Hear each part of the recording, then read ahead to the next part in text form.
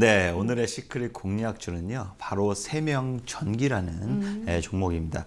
아무래도 대부분의 모르시는 분들이 많이 있을 수 있습니다. 어, 이 회사는 금속 제품을 주로 제조하고 판매한다, 이 사업을 영위한다라고 좀 볼 수 있는데요. 송전, 배전, 뭐 변전 등 선로, 예, 가설용 금구류, 네, 요거를 주로 생산을 한다라고 좀 보시면 됩니다. 이걸 제조해서 한국전력공사에도 지금 제품을 납품하고 있다라고 좀 보시면 되는데요. 어, 회사 이름에서도 같이 전기 회사입니다. 전기 전선을 만드는 회사다라고 좀 보시면 되는데 어, 금구류 산업 자체를 보시면요.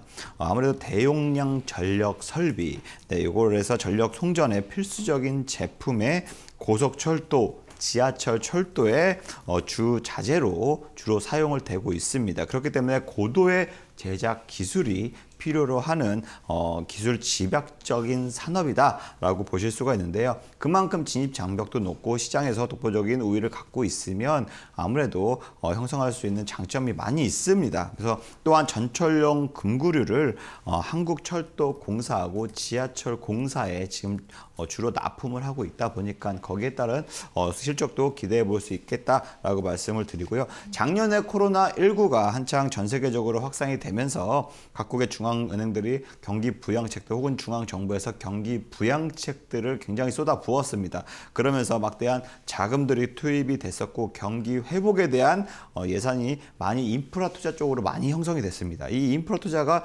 직접적으로 뭐냐? 뭐 우리나라뿐만 아니라 중국, 인도, 일본, 뭐 미국, 러시아 다양한 신흥국도 여러 국도 마찬가지로 재정 정책을 집행하면서 대규모 인프라 투자를 지금 기록하고 있는데요. 아무래도 이 인프라 투자하고 광범위하게 연결될 수 있는 보기에 도로, 항만, 통신, 주택 뭐 이런 것들을 건설 산업을 전반적으로 좀 볼 수 있다. 네, 이렇게 좀 말씀을 드리는데 여기에 따른 수혜가 직접적으로 볼 수 있는 게 바로 이러한 업체들이다라고 좀 말씀을 드리고 있습니다. 그래서 경기 부양을 위한 정부 정책 일환으로서 송전선로를 어, 교체 공사가 조기 집행될 것으로 어, 전망이 되고 있기 때문에 이에 따라 이, 이에 따른 필요한 근무료들이 수요가 급격하게 확대될 수 있다. 그러면 동사는 충분히 매출의 실적의 기대가 커질 수밖에 없다. 그러면 주가도 역시 마찬가지로 동반 상승할 수 있는 여건이 충분히 된다라고 좀 말씀을 드리고 싶고요. 이전에 남북 경협 관련주로서 굉장히 크게 주가가 강세를 보였던 적이 있습니다. 철도 관련주로서 혹은 전기 배선 관련주로서도 충분히 주가 상승을 보여왔는데요.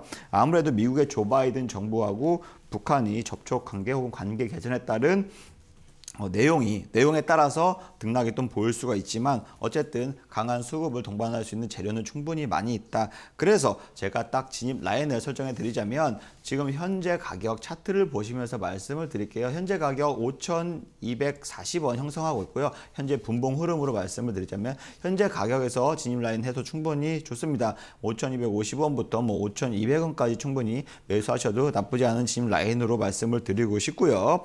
어, 1차 목표가는 경우는 네, 5,750원으로 좀 설정을 하셔도 좋으실 것 같아요. 네, 단기적으로 1차 목표가 5,750원으로 좀 설정을 하셔도 좋으실 것 같고요. 뭐 2차는 6,200원까지 높게 설정을 하셔도 단기적인 상승을 충분히 소화할 수 있다라고 좀 말씀을 드리고 싶고요.